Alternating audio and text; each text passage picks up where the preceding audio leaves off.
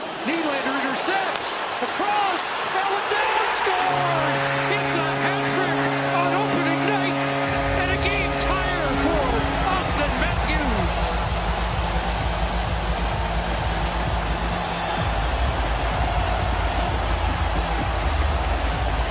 Well, plenty of time to analyze this as the hats rain out on the ice.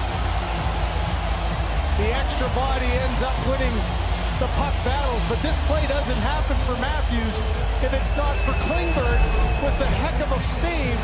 This is a clearing attempt that Klingberg stands his ground, gets it on his backhand, and keeps the play alive. And from that point, you've seen so many times from battle, win the puck in the corner, and get it to the front of the net. First time not able.